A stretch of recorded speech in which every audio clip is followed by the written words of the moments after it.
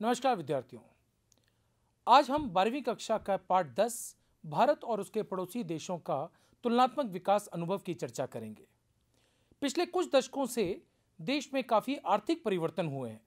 उन परिवर्तनों से आज वर्तमान में कोई भी देश अछूता नहीं रहा है। चाहे वो विकसित देश रहे हों या विकासशील, परंतु उन सभी पर अल्पकालीन और दीर्घकालीन प्रभाव अवश्य देख पड़े हैं। भारत की इस विश्व स्तर पर हुए आर्थिक परिवर्तनों से अछूता नहीं रहा है। इन आर्थिक परिवर्तनों का असर सामाजिक और राजनीतिक क्षेत्रों पर भी दिखा है और अर्थव्यवस्थाएँ भी इससे प्रभावित हुई हैं। विश्व के सभी देशों ने अपने अपने को मज़बूत बनाने के लिए लगातार निरंतर प्रयास किए हैं। इन प्रयासों के अधीन उन्होंने अपने आप को संगठित किया है और विभिन्न समूहों का गठन किया, निर्माण किया, जैसे SAARC, European Union ASEAN G eight, G twenty आदि। अपने अपने विकास को ऊंचाइयों पर पहुँचाने के लिए अपने पड़ोसी देशों को और उनके विकास की प्रक्रियाओं को सदैव जानने का प्रयास किया गया है। ये भी जानना आवश्यक हो गया है कि उनके पड़ोसी देशों की क्या क्या शक्तियाँ हैं और क्या कमजोरियाँ हैं। ये तुलनात्मक मूल्यांकन विकसित देशों की तुलना में विकासशील देशों में अधिक पाया जाता है। इसका मुख्य कारण विकासशील देशों में संसाधनों की सीमितता और अल्प विकास की दर को माना जाता है। इन देशों में आपसी प्रतिस्पर्धा अपने चरमोत्कर्ष पे है और इन देशों का सामाजिक, भौगोलिक और सांस्कृतिक, राजनीतिक तथा आर्थिक संरचना लगभग एक जैसी ही पाई गई है। इस अध्याय में हम भारत और उसके दो बड़े समरूपी देश चीन और पाकिस्तान की तुलनात्मक चर्चा करेंगे। भारत, चीन और पाकिस्तान में समरूपता है, परंतु इस समरूपता के साथ साथ इनमें राजनीतिक अवस्थाओं में भिन्नता भी देखी गई है। पिछले करीब 50 से अधिक वर्षों में तीनों देशों की राजनीतिक स्वरूप अलग अलग मिले हैं। यह एक बात को स्पष्ट करना आवश्यक है कि भारत, चीन और पाकिस्तान तीनों देशों ने विकास के पथ पर एक साथ कदम रखा, परंतु इस विकास में इन तीनों देशों ने अनेकों समस्याओं का सामना भी किया। भारत और पाकिस्तान दोनों देशों की आज़ादी या स्वतंत्रता कहें, एक साथ ही रही है, जबकि चीन, भारत और पाकिस्तान की तुलना में थोड़ा देर से आज़ाद हुआ। इसका आज़ादी का वर्ष था उन्नीस सौ छियानवे। स्वतंत्र भारत के प्रथम प्रधानमंत्री श्री जवाहरलाल नेहरू जी ने अपने एक विश्लेषण में ये कहा था कि भारत और चीन के बीच में सामाजिक, राजनीतिक विचारधारा में भेद है। परंतु यह नहीं भूलना चाहिए कि एशियाई देशों में हुए परिवर्तन एक शक्ति का प्रतीक भी है। आरंभ से ही तीनों देशों ने एक साथ एक ही प्रकार से अपने विकास की नीतियों की संरचना की। भारत ने 1950 में योजना आयोग का गठन कर अपनी पहली पंचवर्षीय योजना को उन्नीस सौ इक्यावन से छप्पन की अवधि के लिए घोषित किया। इसी प्रकार पाकिस्तान ने भी वर्ष 1956 से इकसठ के बीच में अपनी पहली पंचवर्षीय योजना और चाइना ने अपनी पहली पंचवर्षीय योजना उन्नीस सौ तिरपन से अट्ठावन के बीच में घोषित की। ऐसा देखा गया है कि 80 के दशक में भारत, पाकिस्तान और चीन तीनों देशों में समृद्धि की दर, प्रति व्यक्ति आय लगभग एक समान ही थी। भारत और पाकिस्तान ने स्वतंत्रता के पश्चात सार्वजनिक क्षेत्र के सृजन निर्माण पर अत्यधिक बल दिया। सामाजिक विकास पर व्यय जैसे समान नीतियों का महत्व दिया गया, परंतु आज इसमें भेद देखा जा रहा है। अपने इस अध्याय को आगे बढ़ाने के लिए हम चीन और पाकिस्तान दोनों की चर्चा अलग अलग से करेंगे। सर्वप्रथम चीन की चर्चा करेंगे। चीन एक दलीय शासन के आधार पर गणराज्य बना। अर्थव्यवस्था के समस्त महत्वपूर्ण क्षेत्र और संसाधनों पर व्यक्तिगत स्वामित्व को हटा दिया गया, तथा समस्त संसाधनों पर सरकार के नियंत्रण में ले लिया गया, सरकार के अधीन ले लिया गया। वर्ष उन्नीस सौ अठानवे में ग्रेट लीप फॉरवर्ड नाम के अभियान को प्रारंभ किया गया। इस अभियान का मुख्य उद्देश्य था बड़े स्तर पर औद्योगिक विकास को प्राप्त करना। घरेलू स्तर पर उद्योगों को स्थापित करने के लिए लोगों को प्रोत्साहित करना। कृषि क्षेत्र में कम्युनिज्म अर्थात सामूहिक रूप से कृषि किए जाने पर बल दिया गया। चीन और रूस के मध्य संघर्ष होने के फलस्वरूप रूस द्वारा अपने समस्त विशेषज्ञों को चीन से वापस बुला लिया गया, जो चीन में औद्योगिकरण में योगदान के लिए चीन बुलाए गए थे। वर्ष 1965 में माओ ने चीन में सांस्कृतिक क्रांति का आरंभ किया, जो लगभग 10 वर्षों तक, अर्थात 1966 से छिहत्तर तक चला। इसमें चीन के छात्रों और विशेषज्ञों को ग्रामीण क्षेत्र में काम करने और अध्ययन करने के लिए भेजा गया। इसमें विकास की दर, विदेशी व्यापार और निवेश क्षेत्रों में काफ़ी सुधार देखने को मिला। उन ग्रामीण व नगरीय उद्योगों को उत्पादन की अनुमति दी गई। जो स्थानीय लोगों के द्वारा स्वामित्व व संचालित थे। साथ साथ सरकारी उद्योगों को विशेष दर्जा दिया गया। चीन की आर्थिक सुधार प्रक्रिया में दोहरी कीमत प्रणाली को प्रयोग किया गया। आपको मैं यहाँ बताना चाहूँगा कि दोहरी कीमत प्रणाली से हमारा आश्रय है दो अलग अलग प्रकार की कीमत प्रणाली। दोहरी कीमत प्रणाली में चीन के समस्त किसानों को और औद्योगिक इकाइयों से अपेक्षा की गई कि वो सरकार द्वारा निर्धारित कीमतों पर अपनी निर्मित माल को बेचे और आगतों को या कच्चे माल को खरीदें। दूसरी ओर, शेष समस्त क्रय विक्रय बाज़ार कीमत पर भी किया जाए।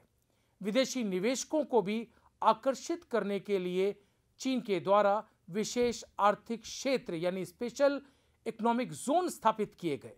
पाकिस्तान की चर्चा। ये हमें नहीं भूलना चाहिए कि वर्ष उन्नीस से पूर्व, अर्थात आज़ादी से पूर्व, भारत और पाकिस्तान दोनों एक ही देश थे। यही कारण है कि भारत और पाकिस्तान दोनों देशों ने अनेकों समस्याओं का सामना किया। भारत के समान ही पाकिस्तान भी एक मिश्रित अर्थव्यवस्था है। आपको मैं ये बताना चाहूँगा कि मिश्रित अर्थव्यवस्था, ऐसी अर्थव्यवस्थाएँ होती हैं जहाँ पर समस्त संसाधनों का बंटवारा निजी क्षेत्र और सरकारी क्षेत्रों के मध्य किया जाता है। वर्ष 1950 और 1960 के दशकों के मध्य पाकिस्तान ने अनेकों विभिन्न नियंत्रात्मक नीतियों का निर्माण किया। नियंत्रात्मक नीतियों का मतलब ऐसी नीतियाँ जो विभिन्न प्रकार के आयात निर्यात और कीमतों पर नियंत्रण लगाते थे। इन नियंत्रण नीतियों में उपभोक्ता वस्तुओं को प्रशुल्क संरक्षण प्रदान किया गया तथा आयातित वस्तुओं से उत्पन्न प्रतिस्पर्धा को नियंत्रित करने के लिए आयात पर नियंत्रण करना आरंभ कर दिया। हरित क्रांति के आरंभ से ही कृषि क्षेत्रों में आधुनिक संयंत्रों का प्रयोग किया जाने लगा। देश के कुछ चुनिंदा क्षेत्रों में सरकारी निवेश को बढ़ाया गया। इन सब आर्थिक परिवर्तनों से खाद्यान्नों के उत्पादन में तीव्र विकास की दर देखी गई।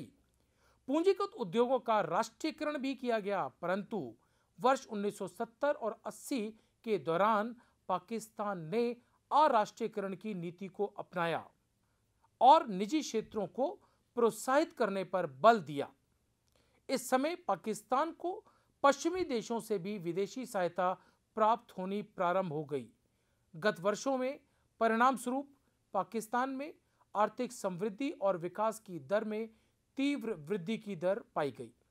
पाकिस्तान में निवेश के लिए अनुकूल वातावरण उत्पन्न हुआ और वर्ष 1988 के पश्चात पाकिस्तान का विकास पहले की तुलना में तीव्र गति से बढ़ा।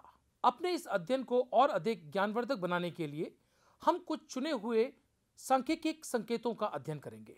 ये संकेत भारत, चीन और पाकिस्तान से संबंधित होंगे। सबसे पहले हम जनसंख्या की बात करते हैं। भारत की जनसंख्या एक हज़ार तीन सौ बावन लाख, पाकिस्तान की जनसंख्या 212 लाख। अपेक्षाकृत भारत की जनसंख्या पाकिस्तान से बहुत अधिक है। चीन की जनसंख्या के विषय में अगर बात की जाए तो इसकी जनसंख्या एक हज़ार तीन सौ तिरानवे लाख है, जो कि पाकिस्तान की अपेक्षा तो काफ़ी अधिक है और भारत की तुलना में लगभग समानता है। जनसंख्या के घनत्व के बारे में भी हम बात करेंगे। आपको मैं ये बताना आवश्यक समझूँगा कि जनसंख्या का घनत्व से हमारा आश्रय होता है कि एक स्क्वायर किलोमीटर में कितनी जनसंख्या निवास करती है? भारत के संदर्भ में जनसंख्या का घनत्व 455 जबकि पाकिस्तान का 275 रहा है। और चाइना, जिसको हम अत्यंत जनसंख्या वाला देश कहते हैं, जनसंख्या का घनत्व मात्र 148 रहा है। लिंग अनुपात की दृष्टि में, भारत में 1000 पुरुषों पर 924 महिलाएँ हैं। चाइना में अपेक्षाकृत ये लिंग अनुपात अधिक है। पाकिस्तान में ये लिंग अनुपात नौ है। अर्थात 1000 पुरुषों पर महिलाओं की जनसंख्या अपेक्षाकृत तीनों देशों में कम है। जनसंख्या की वृद्धि की दर यह भी तीनों देशों में अलग अलग रही है। ये वार्षिक दर एक दशमलव ज़ीरो तीन प्रतिशत भारत में रही, जबकि पाकिस्तान में इसका अनुपात दो दशमलव ज़ीरो पाँच प्रतिशत रहा। चीन अत्यधिक जनसंख्या वाला देश होने के कारण यहाँ पर इसका अनुपात ज़ीरो दशमलव चार छह प्रतिशत रहा। जनसंख्या के वृद्धि की दर चीन में कम होने का कारण था। चीन की जनसंख्या नियंत्रक नीति। चीन में सरकार की जनसंख्या नियंत्रण नीति के अंतर्गत एक शिशु की नीति को अपनाया गया, जिसके परिणाम स्वरूप जनसंख्या वृद्धि की दर 2018 के अनुसार काफ़ी निम्न रही है। यह निम्नता भारत और पाकिस्तान की तुलना में काफ़ी नीचे स्तर पर थी। यदि हम बात करें प्रजनन दर की तो इसका अनुपात दो दशमलव दो भारत में रहा, जबकि तीन दशमलव छह पाकिस्तान में और एक दशमलव सात चीन में रहा। शहरीकरण की दृष्टि से भारत में शहरी क्षेत्रों का अनुपात लगभग चौंतीस रहा है। पाकिस्तान में ये दर सैंतीस और चाइना में, जहाँ पे शहरीकरण सबसे अधिक देखने को मिला है, वो है साठ प्रतिशत। शहरीकरण की दृष्टि से हमारे पास उपलब्ध आंकड़े 2018 के हैं। भारत के संदर्भ में ये चौंतीस, चाइना के संदर्भ में उनसठ और पाकिस्तान की दृष्टि में सैंतीस रहा है। सकल घरेलू उत्पाद की दृष्टि में भारत पाँच दशमलव सात, चीन दस दशमलव तीन और पाकिस्तान छह दशमलव तीन प्रतिशत सकल घरेलू उत्पाद की वृद्धि को दर्शा रहा है। ये आंकड़े 1980 और 90 के मध्य के उपलब्ध हैं। इसी प्रकार 2015 और 17 के आंकड़ों के आधार पर भारत का सकल घरेलू उत्पाद सात दशमलव तीन प्रतिशत, जबकि चाइना का ये सकल घरेलू उत्पाद छह दशमलव आठ और पाकिस्तान का पाँच दशमलव तीन प्रतिशत रहा है। सकल मूल्य वृद्धि में विभिन्न क्षेत्रों का योगदान रहा है। ये क्षेत्र रहे हैं कृषि क्षेत्र, औद्योगिक क्षेत्र और सेवा क्षेत्र। कृषि क्षेत्र में भारत का यह योगदान लगभग 16 प्रतिशत रहा है। चीन का योगदान 7 प्रतिशत, जबकि पाकिस्तान ने 24 प्रतिशत कृषि क्षेत्र का योगदान दर्शाया है। उद्योगों की दृष्टि से 30 प्रतिशत योगदान भारत का रहा है सकल मूल्य वृद्धि में 41 परसेंट आपका रहा है चाइना का और 19 प्रतिशत का योगदान पाकिस्तान का। सेवा क्षेत्र में अपेक्षाकृत पाकिस्तान का योगदान भारत और चीन की तुलना में अधिक रहा है। भारत का योगदान चौवन प्रतिशत चीन का योगदान बावन, लेकिन पाकिस्तान का योगदान सत्तावन परसेंट के आसपास रहा है। कार्यबल का वितरण भी प्रतिशत में दिखाया जा सकता है। कार्यबल का से हमारा अभिप्राय है, देश की जो हमारी वर्किंग पॉपुलेशन होती है, जो कार्यशील जनसंख्या होती है, उसको विभिन्न क्षेत्रों में जो बांटा गया, उस बटी हुई जनसंख्या को हम कार्यशील जनसंख्या कहते हैं। कार्यबल का वितरण प्रतिशत में दिया है दोस्तों, यहाँ पर आपको मैं बताना चाहूँगा कि कार्यबल से हमारा अभिप्राय ऐसी श्रम शक्ति से है जो देश के विभिन्न क्षेत्रों में कार्यरत होते हैं। भारत के दृष्टिकोण में कार्यबल तीन क्षेत्रों में विभाजित किए जाते हैं, कृषि क्षेत्र, औद्योगिक क्षेत्र और सेवा क्षेत्र। कृषि क्षेत्र को हम प्राथमिक क्षेत्र भी कहते हैं, औद्योगिक क्षेत्र को हम द्वितीय क्षेत्र भी कहते हैं और सेवा क्षेत्र हमारे देश के तृतीय क्षेत्रों में शामिल होता है। भारत की कुल जनसंख्या का चालीस प्रतिशत भाग कार्यशील जनसंख्या कृषि क्षेत्र में कार्यरत है, जबकि ये अनुपात चीन के अंदर मात्र 26 प्रतिशत ही है। पाकिस्तान में कार्यशील जनसंख्या का 41 प्रतिशत भाग कृषि क्षेत्र में लगा हुआ है, जो सकल मूल्य वृद्धि में अपना योगदान दे रहा है। इसके विपरीत औद्योगिक क्षेत्र की अगर चर्चा की जाए तो भारत की कार्यशील जनसंख्या का लगभग 25 प्रतिशत भाग औद्योगिक क्षेत्र में कार्यरत है, जो कि चाइना के पाकिस्तान की तुलना में लगभग समान ही है। चीन के अंदर यह अनुपात 28 प्रतिशत और पाकिस्तान में यह अनुपात लगभग 24 प्रतिशत के आसपास रहा है। सेवा क्षेत्र की दृष्टि में, अर्थात तृतीय क्षेत्र की दृष्टि में, भारत का योगदान कुल कार्यशील जनसंख्या का लगभग 32 प्रतिशत रहा है, जो कि चीन की तुलना में काफ़ी कम है। चीन की आबादी का लगभग 46 प्रतिशत भाग कार्यशील जनसंख्या सेवा क्षेत्र में कार्यरत है, जबकि पाकिस्तान में यह अनुपात 35 प्रतिशत है। मानव विकास सूचकांक, ये आंकड़े हमें 2015 और 18 के उपलब्ध हैं। ये आंकड़े हमें मूल तौर पर किसी भी देश के विकास के मापदंड के बारे में दर्शाते हैं। मानव विकास सूचकांक के आंकड़े हमें 2015-18 के उपलब्ध हैं। इन आंकड़ों का विश्लेषण करके हम किसी भी देश के वास्तविक विकास का मापदंड देख सकते हैं। मानव विकास की सूचकांक के अगर हम आंकड़ों को देखें तो भारत का ये आंकड़ा ज़ीरो दशमलव छः चार सात और चीन का ज़ीरो दशमलव सात पाँच आठ रहा है। भारत की तुलना में मानव विकास का सूचकांक चीन के तरफ़ अधिक वज़न देता है। पाकिस्तान के दृष्टिकोण में ये मानव विकास सूचकांक ज़ीरो दशमलव पाँच छः शून्य रहा है। अगर हम मानव विकास सूचकांक को देश के रैंक के हिसाब से देखें तो भारत का स्थान विश्व के मानव विकास सूचकांक में एक है और पाकिस्तान का स्थान एक सौ बावन है। अगर विकास की दृष्टि में देखा जाए तो भारत की तुलना में चीन का स्थान काफ़ी अच्छा है और ये विश्व के पिचासीवां स्थान रखता है। इसी प्रकार, जन्म के समय जीवन प्रत्याशा, ये आंकड़े हमें वार्षिक उपलब्ध हैं। भारत के अंदर जन्म के समय जीवन प्रत्याशा 69.4 प्रतिशत रही है, जबकि पाकिस्तान का दर अपेक्षाकृत कम 67.1 प्रतिशत रहा है। चीन ने इन आंकड़ों के अंदर काफ़ी उछाल दिखाया है। चीन के दृष्टिकोण में जन्म के दौरान जीवन प्रत्याशा अपेक्षाकृत भारत और पाकिस्तान से काफ़ी मज़बूत दिखी है, जो कि अठहत्तर दशमलव सात प्रतिशत वार्षिक नज़र आई। इसी प्रकार अगर हम प्रति व्यक्ति आय के बारे में बात करें, आपको ये मैं बताना चाहूँगा कि प्रति व्यक्ति आय का मूल्यांकन हम अमेरिका के यूएस डॉलर से इसकी तुलना करते हैं। प्रति व्यक्ति आय भारत के संदर्भ में छः रही, जबकि पाकिस्तान की प्रति व्यक्ति आय जो कि इक्यावन रही। चीन एक विकासशील देश होने के बावजूद काफ़ी अच्छी मज़बूत प्रति व्यक्ति आय को दर्शा रहा है जो कि 16,217 यूएस डॉलर उपलब्ध हो रही है। इसी प्रकार गरीबी रेखा के लिए यदि हम प्रतिशत में आंकड़ों का विश्लेषण करें तो भारत में करीब सात दशमलव चार प्रतिशत आबादी गरीबी रेखा के नीचे निवास कर रही है जबकि यह दर मात्र छियालीस दशमलव चार प्रतिशत पाकिस्तान में है। चाइना की अवस्था काफ़ी गौर करने लायक है।